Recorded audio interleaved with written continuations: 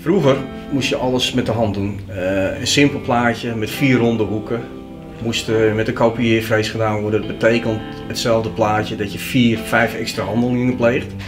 Nu met de laser van BRM is het één handeling, we tekenen in, kant-en-klaar product, leg klaar op de laser. Het scheelt heel veel tijd, meer omzet, snellere productie. Ik ben Ton Hillstra. Ik uh, bewerk ongeveer 18 jaar acrylaat.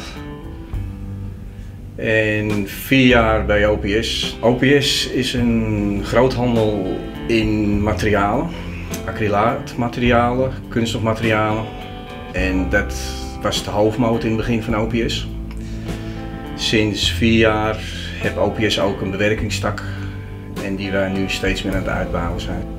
De bewerkingstak van OPS houdt alles in, alle soorten bewerkingen van acrylaat, tot het vervormen van acrylaat, het lasersnijden, CNC-frezen van materialen. Uh, alles wat de klant vraagt, wat eventueel ontworpen moet worden, specials, noem het maar op. Soms draaien de lasers compleet twee, drie dagen achter elkaar. En dan is het bij wijze van spreken in grote series. Dit kan ook zo zijn dat we de lasers gebruiken voor onze projecten. Uh, wat we aan het ontwerpen zijn, dat we de onderdelen daarmee bouwen. Het zijn twee verschillende aspecten, zeg maar. De onderdelen die we nodig hebben voor die specials. Maar we hebben ook vaak de laser nodig voor grote, seriematige producten, zeg maar. Awards snijden we vaak op lasers. Uh, de ene klant wil gewoon een staande woord hebben, de andere woord wil weer een steun erachter hebben. Die ontwikkelen we, die tekenen we in, snijden we ook op de laser. Wat ook belangrijk is, is eventueel voor de kleinere oplages is een kleinere laser die wij ook hebben staan, waar je heel veel uh, precisie dingen mee kan maken. Voor architecten, uh, wat wij veel doen, we maken veel sleutelhangers. Voor kleine oplages is het ook beter dat je een kleinere laser hebt staan en niet een hele grote portaallezer.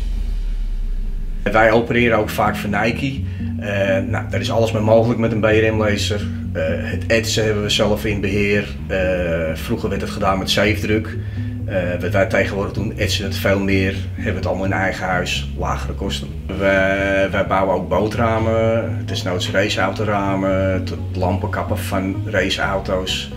Het is wat de klant wil. Wij kijken dan eerst samen met de klant, is het rendabel? Wat zijn, is het kostenplaatje, zeg maar? Nou, en dan komt ook weer het geval van, kunnen we onderdelen laseren, zeg maar. Of dat we het CNC gaan frezen. Dat hangt gewoon dat moment van het materiaal af wat de klant wil. We gebruiken de BRM laser ook voor hele exclusieve vitrinekappen. Waar een soort ledverlichting wordt aangelegd, wat heel exclusief is. Dat betekent ook dat de laser heel nauwkeurig moet zijn. Nou, de BRM laser is nauwkeurig. Dus we werken met volle tevredenheid ermee. Ik ben zelf op de beurs geweest. Heb met BRM gesproken en dat klikte gewoon. Uh, we hebben de machine bekeken. En kon een snelle levering garanderen, snelle service. En daar zijn wij gewoon voor vergaan. Prijs-kwaliteit verhouding ook zeg maar. Dat heeft gewoon de doorslag gegeven. De service van BRM hebben wij heel goed ervaren. Over het algemeen is er een monteur in de buurt. Dat probeert BRM de monteur dezelfde dag langs te sturen. En vaak is het dan de dag daarna, dan is de monteur er sowieso geweest. We hebben laatst geïnvesteerd in een uh, sublimatieoven. Dat is een vrij redelijk nieuwe techniek in Nederland. Er staan maar een paar machines in Nederland. Je brengt een print op materialen, op acrylaat, op een volkern, op aluminium. Ja, en het is veel langduriger dan dat tegenwoordig op het ogenblik iets rechtstreeks geprint wordt, zeg maar. Als je op acrylaat sublimeert, dan staat enkel de print op het acrylaat.